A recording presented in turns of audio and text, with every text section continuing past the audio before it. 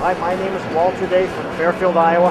I'm at the Video Game Hall of Fame lunch party, and you're watching KYOU Fox 15.